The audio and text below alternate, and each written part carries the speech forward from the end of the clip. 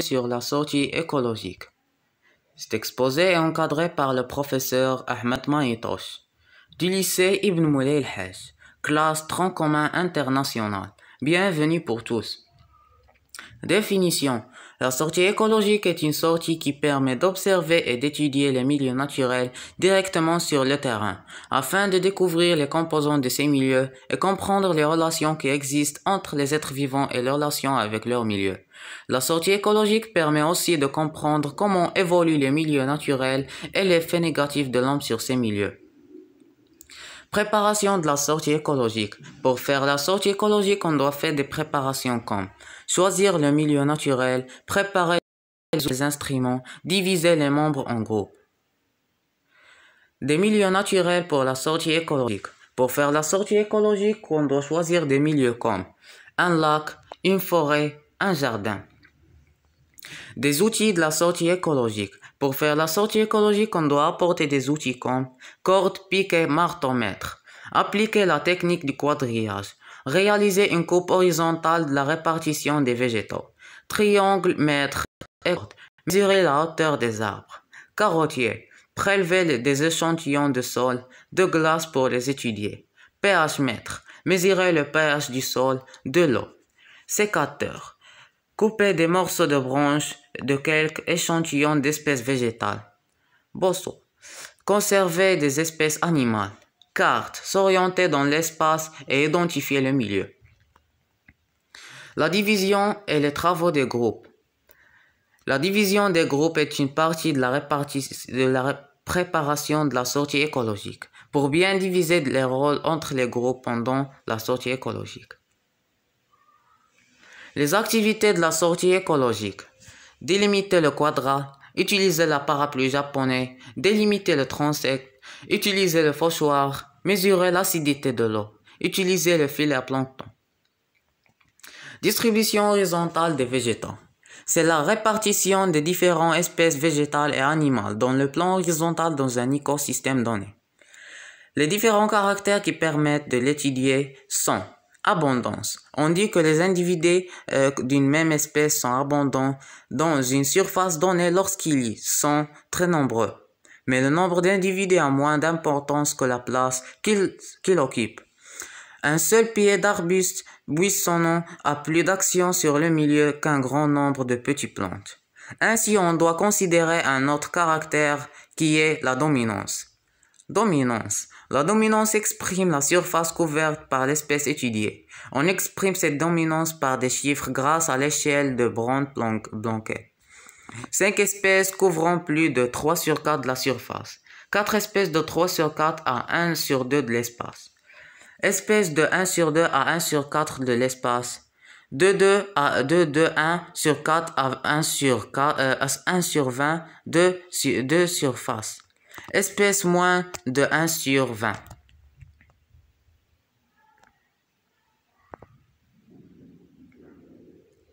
Voilà un exemple d'une coupe horizontale.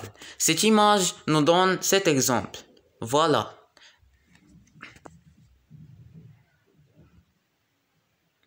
Utilisation de quadrat. Le quadrat est un carré ou rectangle, voire une forme à quatre côtés de surface fixée à l'avance, qu'il soit en métal, en bois ou en plastique. Il est utilisé dans l'écologie et la géographie pour isoler un, échantillon d'habituellement environ 1 mètre carré au 0,25 mètre carré. Voilà un exemple d'utilisation de quadrat.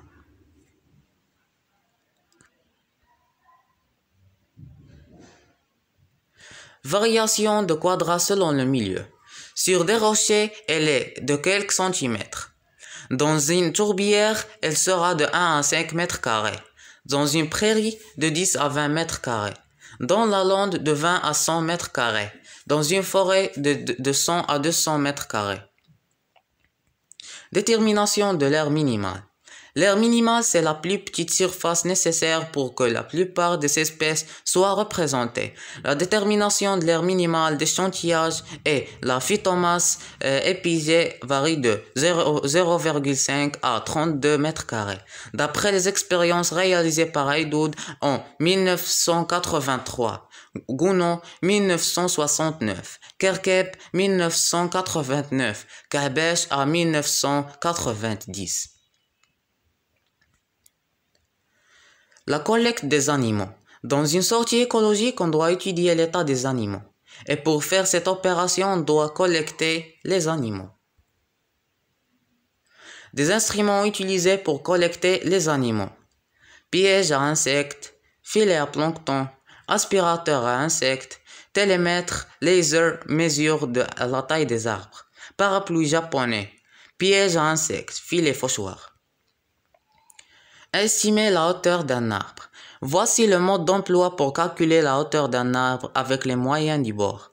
Repérer un arbre un peu isolé. Il faudra pouvoir calculer pour s'éloigner de son tronc. La cime doit être bien visible à 30 mètres. Se, euh, procurer de petits tiges, euh, droites et de même longueur. Deux crayons identiques aux et deux brindilles pas trop fines, que l'on trouve, trouvera par terre feront très bien l'affaire. Placez les deux tiges en, en angle droite. Celle qui est à l'horizontale sera appliquée contre les yeux de l'observateur, votre enfant a priori. L'autre sera placée à la verticale à l'autre extrémité.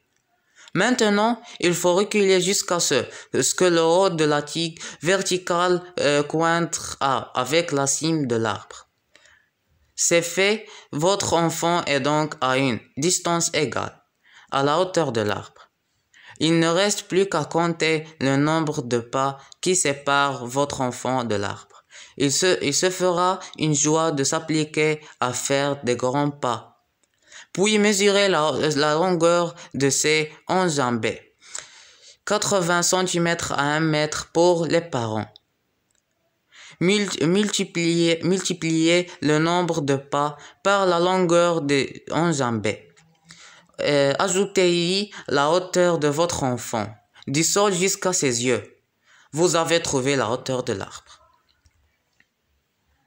Voilà, ces images nous représentent comment on peut, comment peuvent-nous euh, estimer la hauteur de l'arbre. L'abondance, c'est le degré de présence de l'espèce, c'est-à-dire le nombre d'individus de l'espèce présente dans tous les relevés ou sur une surface de référence. On lui attribue une échelle de 1 à 5.